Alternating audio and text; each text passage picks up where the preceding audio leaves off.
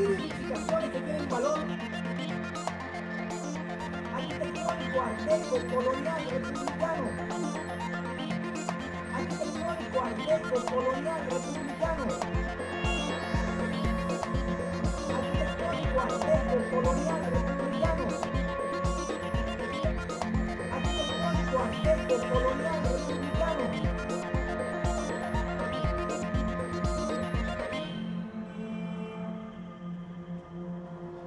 Bueno, el edificio de la Caja Agraria es el gran dolor de cabeza de los barranquilleros. Es un edificio que no está en el corazón de los barranquilleros. Su arquitectura no obedece a la arquitectura caribeña nuestra. Pues lógicamente que es diseñado por un eh, arquitecto muy reconocido, el Lichi Martínez. El Consejo Nacional de Monumentos lo considera un monumento. Por ser un monumento nacional, la caja agraria no se puede tocar. Podría intervenirse, pero no se puede, digamos, que, que tumbar o echar abajo, a pesar de que no esté bien ubicada. Está exactamente atravesado como una vaca muerta a lo largo de todo un paseo abierto. Impide que realmente los que están en la zona del Paseo Bolívar puedan ver hacia el río, como pretendemos ahora con todas estas obras que se están haciendo, y que los que estamos de este lado podamos ver el Paseo Bolívar. El Ministerio de la Cultura hoy se da cuenta de que el edificio no responde a las necesidades de la ciudad, pero no puede echar para atrás.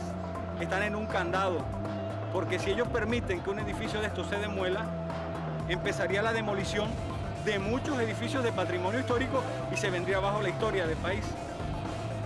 Mira este edificio, patrimonio histórico, tú haces la toma te, te vas a dar cuenta de la destrucción. Mira esto. Se prenden más de mil edificaciones que tienen valor arquitectónico, arteco, colonial, republicano. Lo triste es que hemos invitado a los miembros de la, de, del Consejo Nacional de Monumentos y han sesionado aquí en esta, exactamente en este mismo salón, viendo realmente esa culata. Y al término de la sesión han definido de que el edificio mantiene las características arquitectónicas que lo hicieron merecedor de que fuera tenido como un monumento nacional y por lo tanto no lo desafecta. Mira, mira las sociedades de las calles.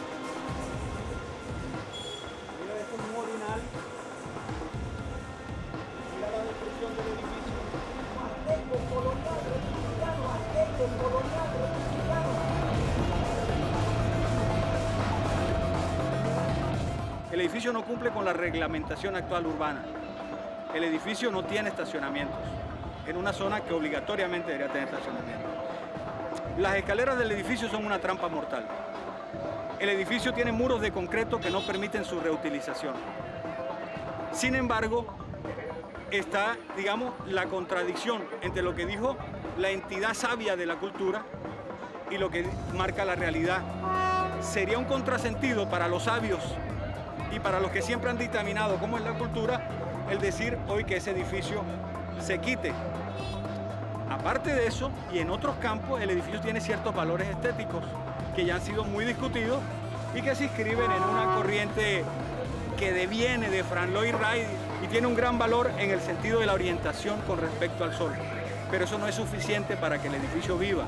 Lo que lo mantiene vivo es la contradicción entre el error que cometió el Ministerio de Cultura y que hoy no pueden echar para atrás.